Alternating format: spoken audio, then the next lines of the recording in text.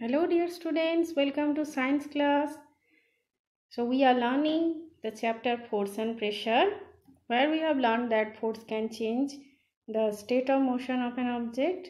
That means it can change speed or direction or both. So force also can change the dimension of an object that is shape of an object.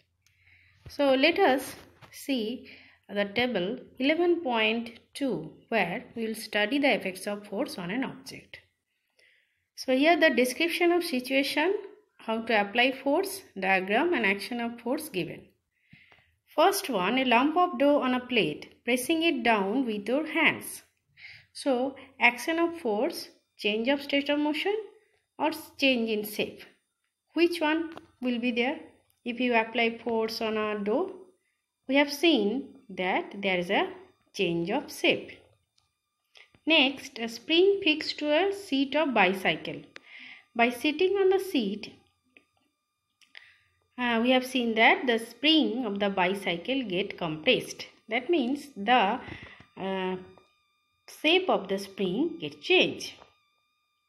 A rubber band suspended from a hook or nail fixed on a wall and by hanging a weight on by pulling or by pulling it free end. When we pull it, uh, its free end you have seen it expand. That means there is a change of shape. No state of motion we can see. But when we free the end, we have seen that the elastic band fly away or flung. So there we can see say that there is a change of state of motion. Next a plastic or metal scale placed between two bricks and by putting a weight at the center of the scale. When we put a brick or a weight at the center of the scale which is placed between two books uh, or bricks we have seen there is a change of shape. So by this uh, from this table sorry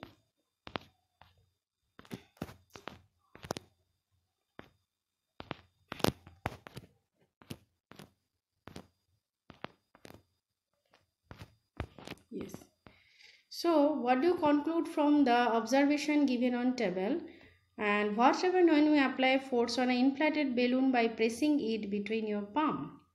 And what happens to the shape of the ball of dough when it is rolled to make it a chapati? And what happens to when you press a rubber ball placed on a table? In all these examples you saw that application of force on an object may change its shape having performed all the above activities so we have uh, concluded that uh, force may make an object move from rest may change the speed of an object if it is moving may change the direction of motion of an object may bring about a change in the shape of an object and may cause some or all of these effects. So these are the effects of the force. Now, while a force may cause one or more of these effects, it is important to remember that none of these actions can take place without the action of a force. Thus, an object cannot move by itself, it cannot change the speed by itself, it cannot change direction by itself, and its shape cannot change by itself. So, for this change, there is a need of external uh, agent that is the force. Now we learn about uh, types of forces, contact forces and non-contact forces. Contact forces, example muscular force, frictional force. So muscular force, the force exerted by muscles is known as muscular force.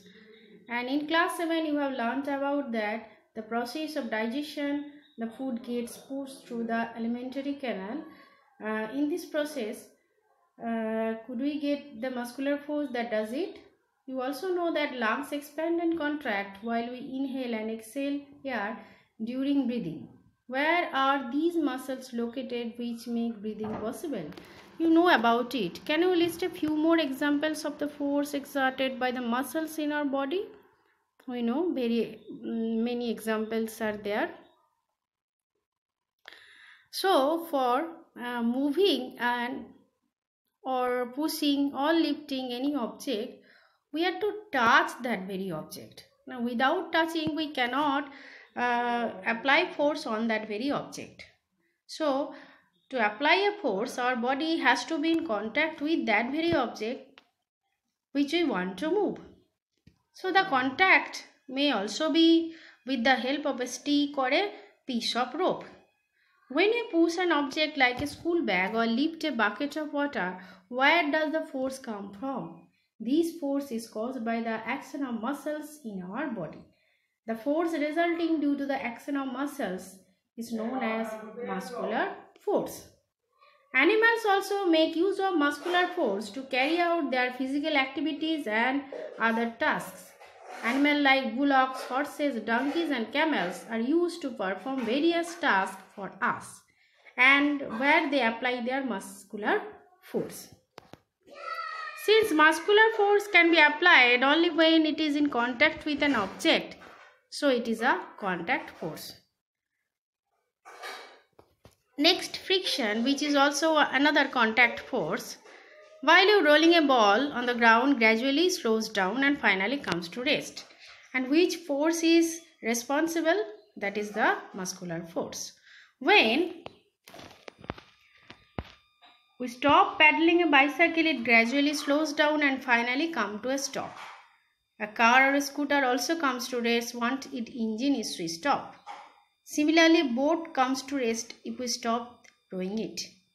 And all these for frictional force that acts between two surfaces which are in contact and they are in relative motion. That means one of the surface are in motion or both of them are in motion. In all these situations, no force appears to be acting on that very object. Yet their speed gradually decreases and they come to rest after some time. Then what causes a change in their state of motion? Could some force be acting on them? And can you guess the direction in which force must be acting in this case?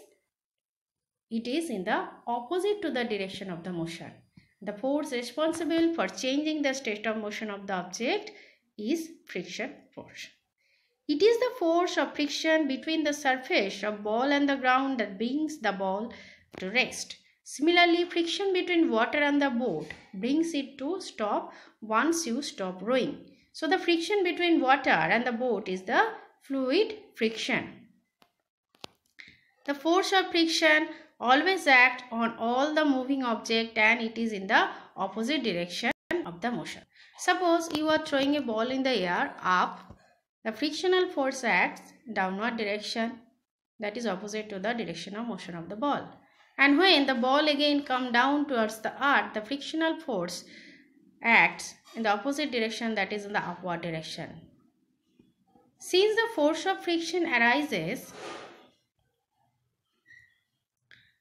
due to the contact between surfaces, it is also an example of contact force. We will learn more about this force in chapter 12. You may be wonder whether it is essential for the agent applying a force on an object to be always in contact with it. Let us find out. So, now, now we will learn about non-contact forces.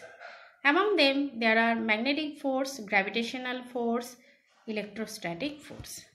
Magnetic force about it we learned already, you have learned in class 6. The force exerted by the magnet is called magnetic force you know that same pole of the magnet repel each other and opposite pole of the magnet attract each other. So there is a no need of direct contact between the two objects. So for this take a pair of bar magnet place the longer side of one of the magnet over three round shape pencil and wooden roller as shown in the figure. Now bring another magnet towards it um, observe that what happened next bring another end of the magnet near the same end of the magnet placed on the roller and note what happened to the magnet placed on the roller. Every time another magnet is brought near it. So when two same pole brought near to each other the magnet which is kept over the pencils or pen come towards the another magnet and uh, sorry uh, move away from each other. And when different pole one is given by red color another by blue one are bring then two magnets will attract each other and the magnet which is kept over the pencils or pen move towards the magnet that so this is the magnetic force which acts from a distance. So you have learned in class 6 that like poles of magnet repel each other and opposite uh, unlike pole attract each other. So attraction or repulsion between objects can also be seen as another form of pull or push. So these repulsion